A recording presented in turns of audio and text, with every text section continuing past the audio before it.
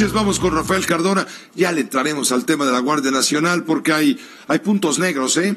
Hay puntos negros que no se han comunicado con la transparencia que demanda una sociedad democrática respecto al currículum del nuevo comandante de la Guardia Nacional, que si bien tiene una, goza de una enorme experiencia en temas de combate al crimen organizado, específicamente al narcotráfico.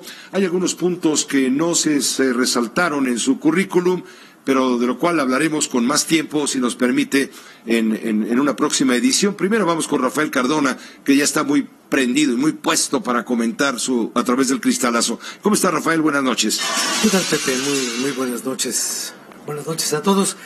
Pues, Pepe, eh, estaba yo revisando un mapa Mapamundi y Eritrea es la parte conocida como el cuerno de África.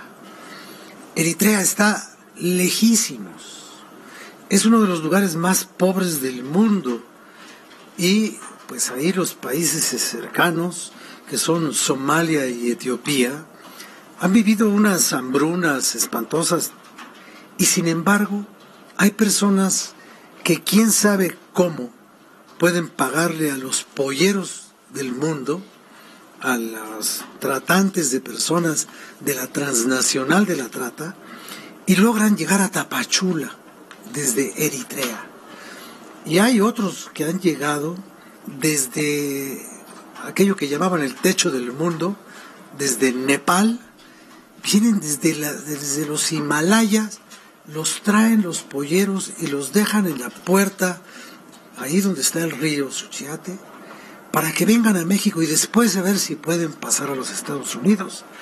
Y lo que estamos viendo, Pepe, ahora que se está eh, eh, estableciendo ya el mando de la Guardia Nacional, eh, todavía seguimos con la mala idea de que los únicos crímenes que se deben perseguir son los crímenes del narcotráfico, o de otro tipo de violencias armadas y, que cobran vidas directamente, ¿no?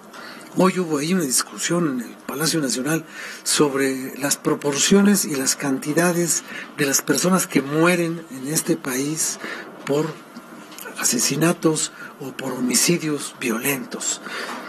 Pero también esto de la trata es una cosa verdaderamente aterradora. Esto es una de las expresiones graves del crimen organizado. Crimen no nomás es matar a un señor en una nevería porque no te pagó o porque se robó un dinero, no, no, no. Crimen también es atravesar el mundo cargado de personas hambrientas que solamente pueden comer una esperanza al día. Nada más. Y cuando llegan aquí esa esperanza, por lo general, se les muere. Porque si bien en México van a poder pasar, porque hay una especie aquí de, síndrome de la caridad, y sí, pues pueden pasar, aquí se pueden estar un rato, les vamos a dar visas y todo eso, eso no va a funcionar como una medida definitiva en México, porque los flujos migratorios inducidos por el crimen organizado, no son fácilmente asimilables por ningún país. Los Estados Unidos son tan fuertes que pueden cerrar su frontera y no les importan las, las, consecuencias. Nosotros no tenemos esa fortaleza porque ahora que estuve viendo unos noticiarios, un señor hondureño dijo, y entonces nos cerraron la puerta, pero un compañero de nosotros rompió el candado y nos metimos. Pues materialmente así ocurrió. Claro, a este país te puedes meter rompiendo un candado y tirando una puerta como de gallinero. ¿Por qué? Porque este país durante años se desentendió de lo que pasaba en la frontera del sur.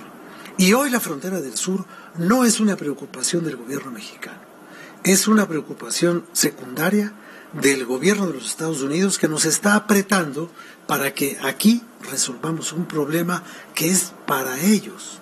Pero antes de que les llegue, nos están apretando por todas partes. ¿Y cómo nos están obligando a controlar la frontera del sur, cerrando la frontera del norte. Entonces ellos van a poner un tapón, como ya lo están poniendo en Tijuana y en Ciudad Juárez, y con eso dislocan la vida fronteriza del norte. Y los tratantes de personas están dislocando la vida fronteriza del sur. Y en medio algo que no tenemos claro. No lo tenemos claro, no lo tiene claro Olga Sánchez Cordero, no lo tiene claro Tonatiu y creo que no lo tiene claro el presidente de la República. ¿Cuál es la política migratoria del gobierno mexicano? No la política de recepción temporal de menesterosos, vengan de donde vengan. No, ¿cuál es la política migratoria de México? ¿Qué queremos, por qué lo queremos y cómo lo queremos hacer? Mientras tanto, vamos a tener el sándwich de la migración, presión por el norte y presión por el sur. Gracias, Rafael. Gracias, Pepe. Buenas noches. Buenas noches. Eh, buen fin de semana, por supuesto.